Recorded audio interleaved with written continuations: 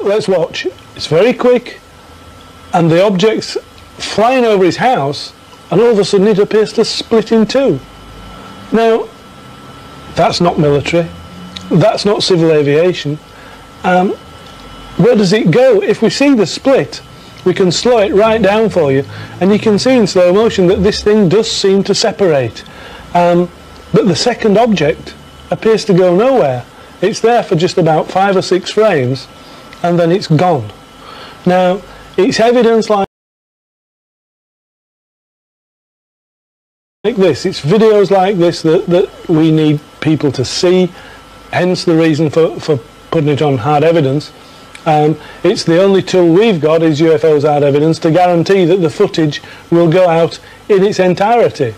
Um, I can't understand why television news companies and documentary makers tend to steer away from this sort of footage because believe you me, this is riveting. Again, let's just watch as, as, as the object splits in two. I can't explain that. In analysing the footage, all we can say is that this is something that's not normal.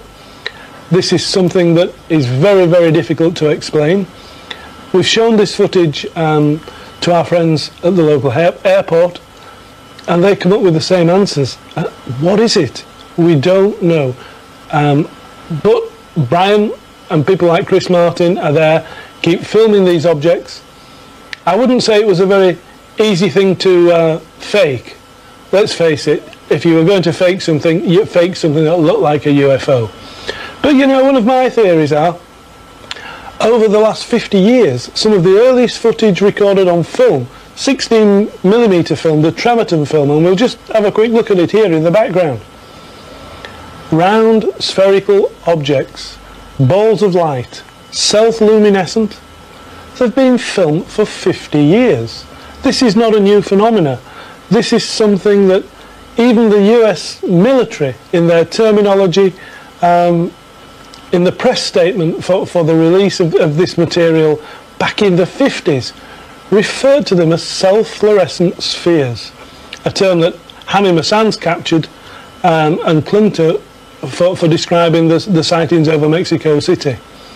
And just to finish off, um, this one, well, maybe we can't call it a sphere as such, but just watch this. This is stock footage of a, a B-2.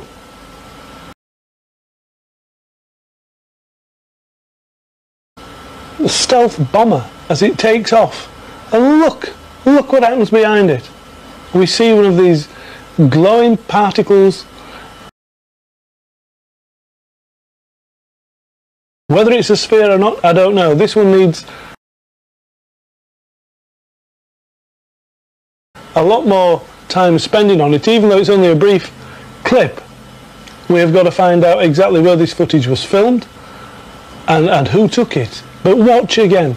There we have B-2, the America's most expensive aeroplane, one of the most expensive flying machines ever, ever built. And clear as day, it's being followed by an unidentified flying object.